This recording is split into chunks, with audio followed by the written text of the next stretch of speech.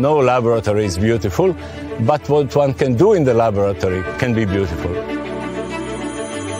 I'm Miroslav Radman, professor of cell biology and genetics at the University of Paris, and also the founder of the Mediterranean Institute for Life Sciences in Split, where I was born.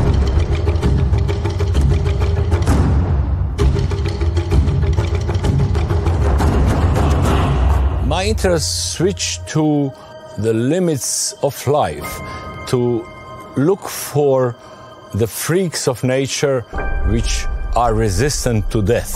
And the champions are some bacteria and some even some animals that can survive doses of radiation that are 1000 2000 times higher than doses that would kill our own cells clearly the mechanism of resistance to radiation and to dehydration is not the protection of genes no its dna is equally broken as the dna of any other bacterium or of our own cells what is protected is not DNA, it's proteins.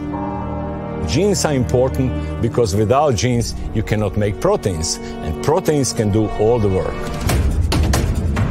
Bad proteins make bad DNA, and bad DNA means a lot of mutations and cancer and, and similar stuff. How could we use this knowledge in order to avoid diseases and live longer? About this, I'll tell you more on following lectures.